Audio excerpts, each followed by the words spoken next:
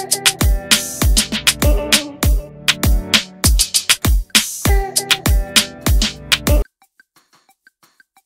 ต้ย จรินพรไม่รอมีแฟนเปิดประสบการณ์เดินหน้าฝากไข่หลังกังวลอยู่นาน เต้ย จรินพรไม่รอมีแฟนเปิดประสบการณ์เดินหน้าฝากไข่หลังกังวลอยู่นานคิดว่าไม่สามารถทำได้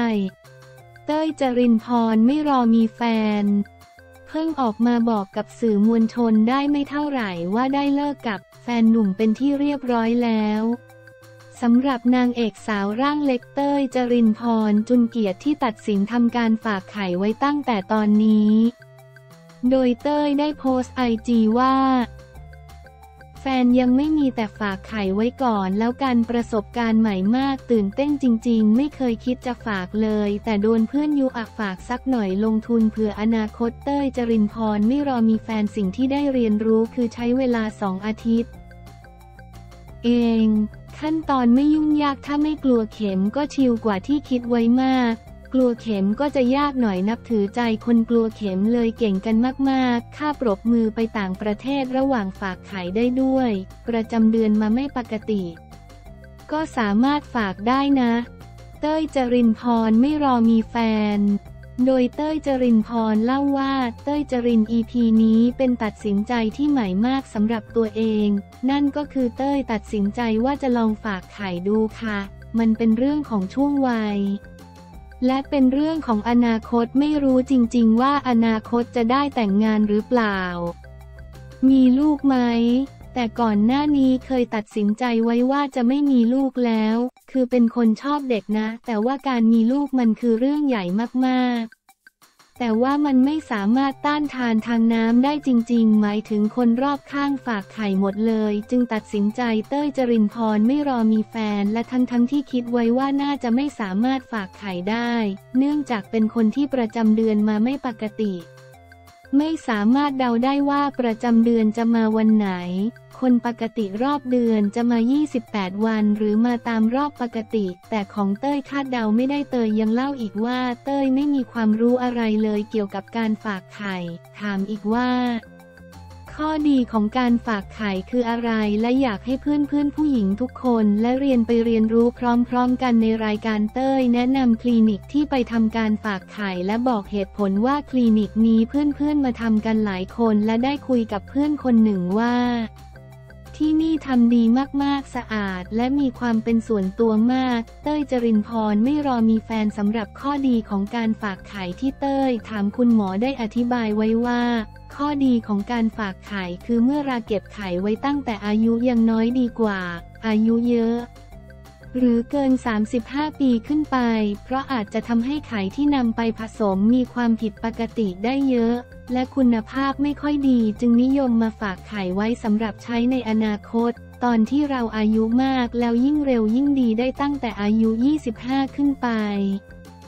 และเก็บไว้ได้นานถึง 20 ปี เต้ยถามหมอต่อว่ามีข้อหนึ่งที่กังวลมากๆ และคิดเองว่าไม่สามารถมาฝากไข่ได้ เพราะว่าเป็นคนประจำเดือนมาไม่ปกติ เป็นภาวะไข่ไม่ตกเรื้อรังมีทั้ง 57 วัน 77 วัน และเคยสูงสุด 95 วัน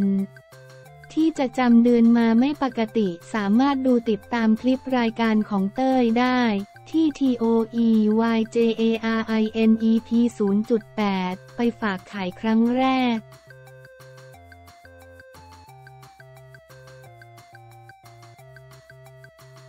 ลีน่าจังประสบอุบัติเหตุไร้คนดูแลหิ้วร่างแอดมิดเข้า ICU ด้วยตัวเอง ลีน่าจังประสบอุบัติเหตุหกล้มหน้าอกกระพลแทกพื้น ไร้คนดูแลหิ้วร่างขึ้นแท็กซี่มาโรงพยาบาล แอดมิดเข้า ICU ด้วยตัวเอง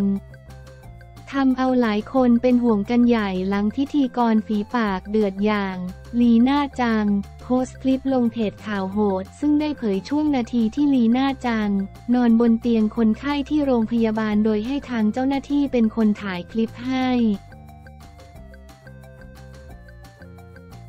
เนื่องจากตนนั้นนั่งรถมาโรงพยาบาลคนเดียวโดยในคลิปลีน่าจังพนมมือไหว้พร้อมเผยด้วยน้ำเสียงสั่นเครือว่า ตนนั้นหกล้มที่บ้านหน้าอกกระแทกพื้นและหัวเข่ากระแทกพื้นเจ็บมาก นอกจากนี้ก็เผยว่า นั่งแท็กซี่มาโรงพยาบาลพญาไทคนเดียว ไม่มีคนพามามาถึงก็ถูกพาเข้าห้อง ICU ขอบคุณทางโรงพยาบาลและและเจ้าหน้าที่คอยดูแลมาตลอด 30 ปีที่อยู่ประตูน้ำขอบคุณมาก ๆ อยู่บ้านลูกไม่ได้ดูแลขอบคุณภาพจากข่าวโหด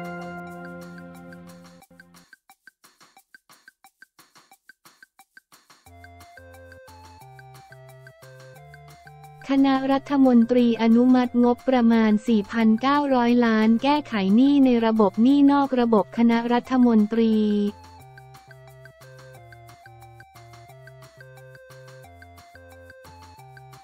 อนุมัติงบประมาณ4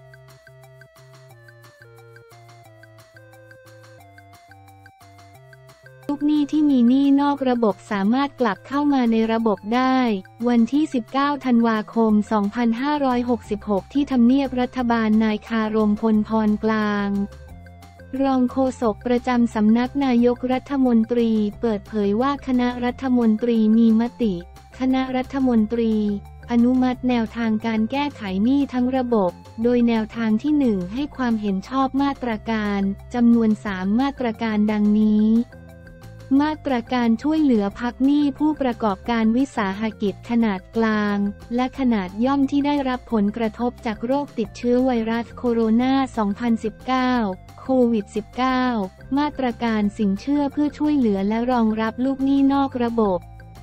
มาตรการช่วยเหลือลูกหนี้รายย่อยที่ได้รับผลกระทบจากโรคโควิด -19 ตามโครงการสินเชื่อเพื่อเป็นค่าใช้จ่ายสำหรับผู้มีอาชีพอิสระที่ได้รับผลกระทบจากโรคโควิด -19 และมอบหมายให้หน่วยงานที่เกี่ยวข้องพิจารณาดำเนินการในส่วนที่เกี่ยวข้องต่อไป นายคารมกล่าวต่อว่าส่วนแนวทางที่ 2 อนุมัติงบเงินงบประมาณจากงบประมาณรายจ่ายประจำปีจำนวน 2 มาตรการได้แก่ 1. มาตรการช่วยเหลือพักหนี้ผู้ประกอบการวิสาหกิจขนาดกลาง และขนาดย่อมที่ได้รับผลกระทบจากโรคติดเชื้อไวรัสโคโรนา 2019 โควิด -19 จำนวน 400 ล้านบาทนายคารมกล่าวอีกว่าและ 2. มาตรการสินเชื่อเพื่อช่วยเหลือและรองรับลูกหนี้นอกระบบจำนวน 4,500 ล้านบาท รวมทั้งสิ้น